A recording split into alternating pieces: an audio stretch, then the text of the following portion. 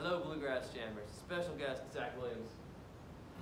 In the Pines, we're gonna play a verse and a chorus, and then we're just gonna play the changes. And I want you to practice, if you're a guitar player, strumming along, take solos, take breaks, play the melody, and get down to it. You ready?